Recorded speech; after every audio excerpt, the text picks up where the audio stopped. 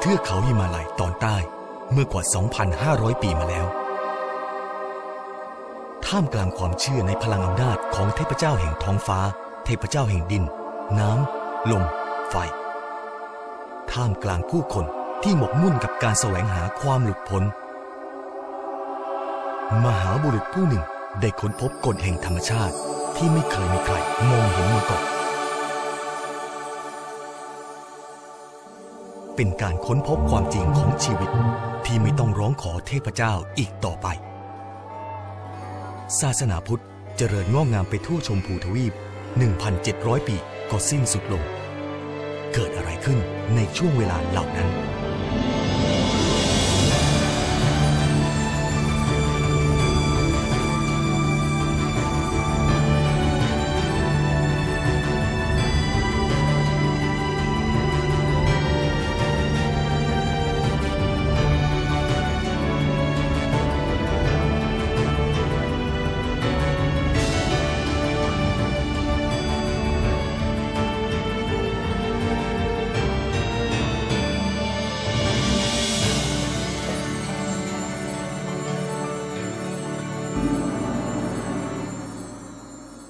หลังจากที่ศาสนาพุทธได้หายไปจากอินเดียนานหลายร้อยปี ในที่สุดองค์กรพุทธก็กลับมาเกิดขึ้นอีกครั้ง แต่การกลับมาของสาวกพระพุทธเจ้าในครั้งนี้ มาจากหลายทิศทางและด้วยสาเหตุที่แตกต่างกัน บ้างก็เป็นตระกูลพุทธเก่าแก่ที่หายสาบสูญไป แล้วกลับมาใหม่อย่างตระกูลบารัว บ้างก็เกิดขึ้น เพราะความบีบคั้นทางสังคมอย่างกลุ่มของดรอัมเบดกาบ้าง ก็มาอยู่ใหม่ด้วยเหตุผลทางการเมืองอย่างท่านดาลายลามะ และชาวทิเบตในธรรมศาลา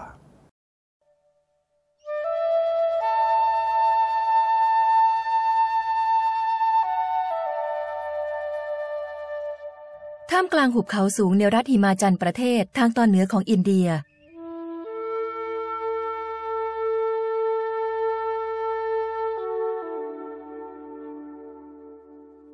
ที่นี่คือที่ตั้งของชุมชนเมืองธรรมศาลา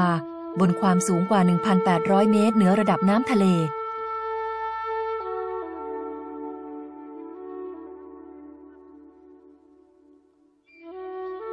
ธรรมศาลาเป็นที่รู้จักไปทั่วโลก ตั้งแต่ท่านดาลายลามะองค์ที่ 14 และชาวทิเบตจำนวนหนึ่งได้ลี้ภัยเข้ามาอยู่ที่นี่ ตั้งแต่ปีพุทธศักราช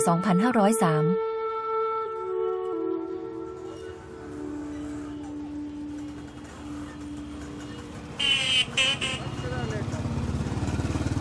ธรรมศาลาในวันนี้จึงเต็มไปด้วยผู้คนจากนานาประเทศ ที่แวะมาเยี่ยมเยียนไม่เคยขาด พื้นที่ส่วนหนึ่งจัดไว้เป็นย่านค้าขาย ร้านรวงสองข้างทางหลากหลายไปด้วยสินค้าพื้นเมือง ที่ชาวทิเบตมาเปิดร้านขายของให้นักท่องเที่ยว ผสมผสานไปกับร้านค้าของชาวแคชเมียร์บ้าง ชาวเนปาลบ้าง ที่นำผ้าทอแคชเมียร์และงานศิลปะของพุทธันตรยานมาขาย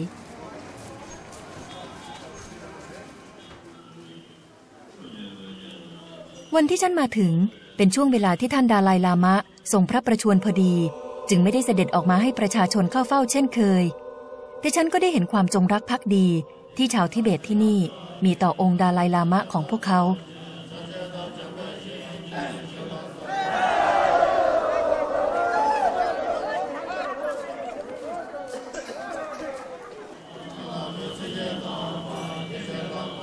ทุกๆเช้าที่ลานด้านหลังพระตำหนักของท่านดาลายลามะ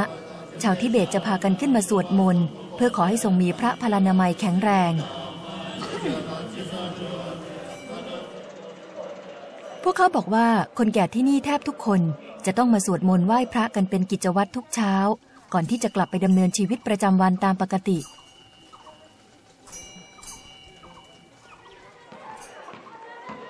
ฉันนึกสงสัยอยู่เหมือนกันว่า แล้วเด็กๆ หรือหนุ่มสาวชาวทิเบตที่อยู่ในธรรมศาลาล่ะ ได้รับการถ่ายทอดความรู้ในพุทธศาสนากันอย่างไร แล้วฉันก็รู้ว่าที่ธรรมศาลา มีโรงเรียนหมู่บ้านเด็ก ที่ทั้งสอนหนังสือ และอบรมเลี้ยงดูเด็กตั้งแต่อายุหนึ่งเดือน ไปจนถึง 18 ปี เด็กๆเหล่านี้ส่วนใหญ่เป็นเด็กกำพร้า และเด็กที่เพิ่งอพยพมาจากทิเบต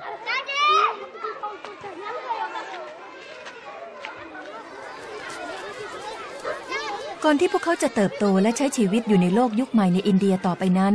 พวกเขาจึงต้องได้รับการอบรม ให้มีพื้นฐานวัฒนธรรมทิเบตอย่างเข้มแข็งเสียก่อน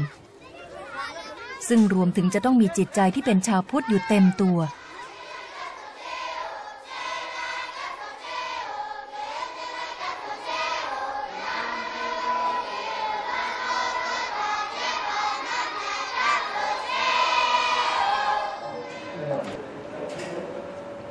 ตุนี้เองหนุ่มสาวชาวทิเบตที่ฉันพบเห็นที่นี่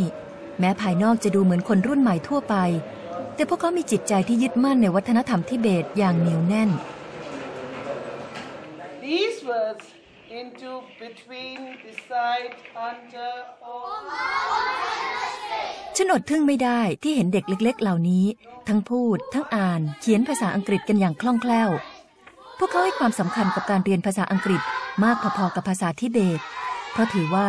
นี่คือการสร้างคนที่จะต้องก้าวต่อไปในโลกยุคใหม่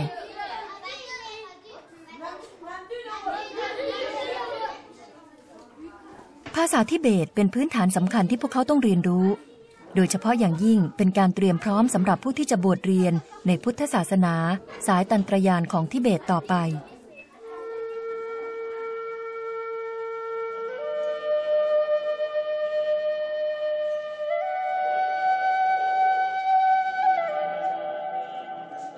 เขาได้ร่วมกันสร้างเมืองพุทธแห่งใหม่ขึ้นอีกครั้งที่อินเดีย และส่งผลให้ชาวตะวันตก หันมาให้ความสนใจในพุทธตันตรยานของทิเบตอย่างกว้างขวาง อย่างไม่เคยเป็นมาก่อนในอดีต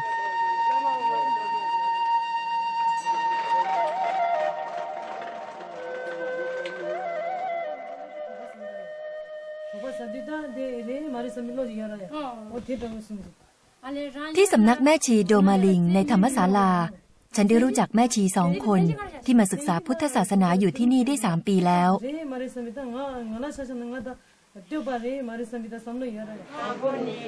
เทนซินคุนจีเดินทางมาจากลาดัก ส่วนงาวังเปลซอมมาจากทิเบต เปลซอมบอกว่าแม่ชีที่มาเรียนที่สำนักชีในธรรมศาลา ส่วนใหญ่มาจากทิเบต บ้างก็มาจากเมืองแถบฮิมาลัยอย่างลาดัก หรือมาจากแถบเอเชีย อย่างเวียดนามก็มี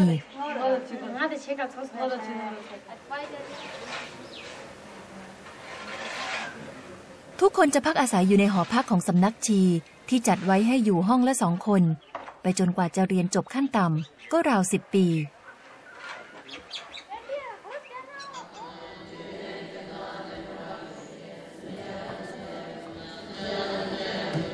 คุณจีและเปลซอม ชวนฉันมาดูการสวดมนต์ตอนเช้า ที่แม่ชีทุกคนจะต้องมาปฏิบัติพร้อมกันสองปีแรกที่เข้ามาเรียน แม่ชีจะถูกฝึกให้ท่องจำบทสวดมนต์ให้แม่นยำเสียก่อน ต้องหัดอ่าน หัดเขียนภาษาทิเบตให้ได้ก่อนที่จะเริ่มเรียนพุทธปรัชญา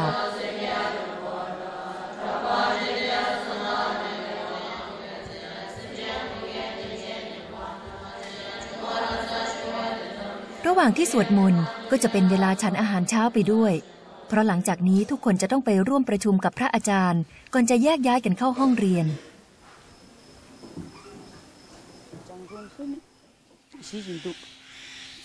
วัดโดมาลิงเป็นหนึ่งในสำนักชีทั้งหมด 5 แห่งที่มีอยู่ในธรรมศาลา หรืออาจเรียกได้ว่าเป็นสถาบันศึกษาพุทธศาสนาตันตรยานของฝ่ายสตรีที่ต้องการบวชเรียน ที่นี่มีแม่ชีอยู่ราว 200 คน จากทั้งหมด 500 คนที่กระจายอยู่ในสำนักชีอื่น ๆ อีกทั่วธรรมศาลา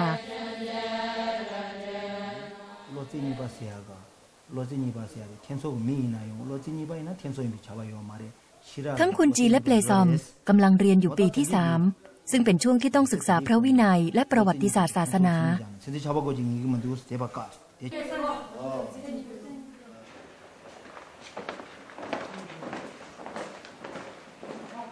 วันนี้คุณจีกับเปลซอมจะต้องไปร่วมการฝึกปุจฉาวิสัชนา เธอบอกให้ฉันต้องไปดูให้ได้ เพราะเป็นการฝึกฝน การใช้ตักกะมาตอบโต้กันที่สนุกมาก และทุกคนต้องเตรียมตัวกันมาเป็นอย่างดี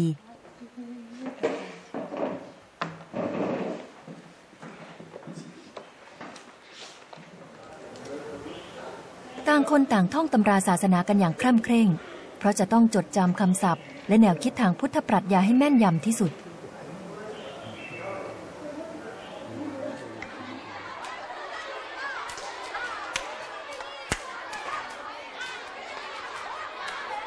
สำหรับคนที่เห็นการปุจฉาวิสัชนาของพุทธิเบตเป็นครั้งแรกอย่างฉัน เป็นภาพที่น่าตื่นตาตื่นใจและประหลาดใจไปพร้อม ๆกัน บริเวณลานกว้างของสำนักชี กลายเป็นที่ชุมนุมของแม่ชีนับร้อยคน พวกเธอกำลังโต้เถียงปัญหาอะไรบางอย่างกันอยู่ คนที่นั่งเป็นฝ่ายตอบ คนที่ยืนเป็นฝ่ายถาม ผู้ที่ถามจะทำท่าทาง ทั้งชี้หน้า ตีฝ่ามือ ตะโกนใส่คนที่นั่งอยู่ตรงหน้า ดูราวกับว่ากำลังถกเถียงกันอย่างรุนแรง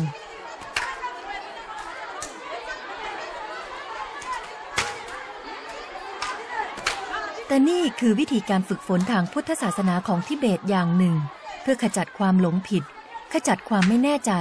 ที่เรียกว่าตักกวิพาท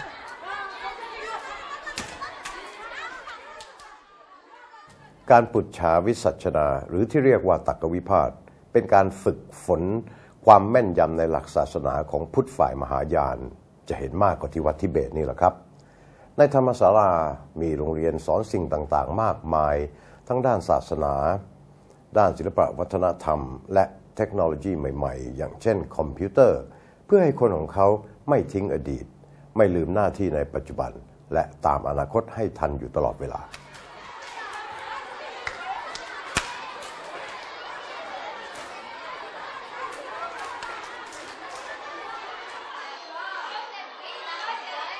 ชีได้อธิบายท่าทางที่ใช้ให้ฉันฟังว่า เป็นสัญลักษณ์ของตะกวิพาทเมื่อผู้ถามถามคำถามจบ ก็จะตบมือขวาลงบนฝ่ามือซ้าย แล้วชักมือขวากลับ พร้อมยกขึ้นระดับบาแปลว่าเราจะช่วยสัตว์โลกให้หลุดพ้นจากการเวียนว่ายตายเกิด เมื่อถามแล้ว ผู้ตอบยังลังเล เราก็จะร้องว่า เชอเชอก็คือ ตอบมาตอบมา แล้วถ้าตอบไม่ได้ เราก็จะตะโกนกันว่า ซาซา แปลว่าน่าอายน่าอาย ส่วนใหญ่ก็เป็นเรื่องความมีอยู่ หรือไม่มีอยู่ของสิ่งต่างๆ เพื่อฝึกความแม่นยำในหลักคำสอนของพุทธศาสนา อย่างเรื่องของอนิจจังคำถามเริ่มต้นอาจฟังดูเหมือนเป็นเรื่องง่าย ๆ อย่างภาชนะที่ใส่ดอกไม้เรียกว่าแจกันเหรอ พอตอบว่าใช่ ก็จะถามต่อไปว่า ถ้าเช่นนั้น ภาชนะทุกชนิดที่ใส่ดอกไม้ก็ต้องเรียกแจกันเหมือนกันเหรอ เมื่อตอบว่าอาจใช่หรือไม่ใช่ อยู่ที่วัตถุประสงค์ของการใช้ ก็จะมีคำถามต่อไปอีกเรื่อย ๆ และซับซ้อนมากขึ้น จนถึงจุดที่ทุกสิ่งเป็นอนิจจัง เพราะการมีอยู่หรือเป็นอยู่ของสิ่งต่างๆ ขึ้นอยู่กับเหตุและปัจจัย ถ้าเหตุและปัจจัยหมดไป สิ่งที่เป็นอยู่ก็จะหมดไปด้วย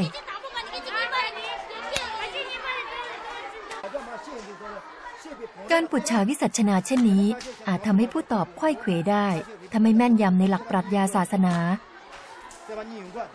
บางครั้งคำตอบคลุมเครือก็ต้องเรียกพระอาจารย์มาเป็นคนตัดสินให้ บางครั้งผู้ถามก็จนแต้ม เพราะผู้ที่ตอบมีความแม่นยำมาก จนถึงกับต้องใช้คนถามหลาย ๆ คน ตอบโต้กับผู้ตอบเพียงคนเดียว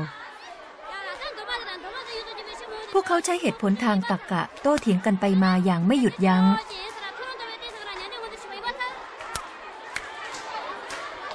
จุดมุ่งหมายของตรกวิพาทไม่ได้ต้องการให้ผู้ตอบพ่ายแพ้ หรืออับอายขายหน้า แต่ต้องการให้ผู้ตอบสามารถขจัดความเห็นผิด ขจัดความไม่แน่ใจในทัศนะของตัวเองจนหมดสิ้น จนไม่เหลืออะไรให้สงสัยอีกต่อไป การปุจฉาวิสัชนาหรือตรกวิพาทนี้ ปฏิบัติสืบทอดกันมาหลายร้อยปี ตั้งแต่พุทธมหายานยังรุ่งเรืองในอินเดีย โดยเฉพาะในสมัยท่านนาคารรชุน ผู้คิดค้นพุทธปรัชญามาธยมิกขึ้น ตั้งแต่พุทธศตวรรษที่ 8 ท่านนาคารรชุนเป็นนักปราชญ์พุทธสายมหายานชาวอินเดียที่มีชื่อเสียงโด่งดังมาก ได้เผยแพร่หลักคิดของท่านออกไปอย่างกว้างขวาง โดยใช้เหตุผลทางตรรกะโตเถียงไปจนไม่มีข้อสงสัยใด ๆ เหลืออีก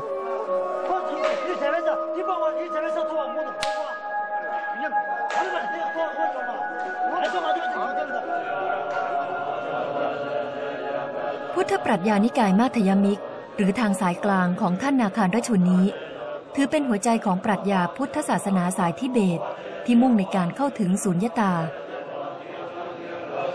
เป็นพุทธปรัชญาขั้นสูง ที่พระและแม่ชีทิเบตจะได้ศึกษา ก็ต่อเมื่อผ่านการเรียนขั้นพื้นฐานพุทธศาสนามาแล้ว ไม่ต่ำกว่า 10 ปี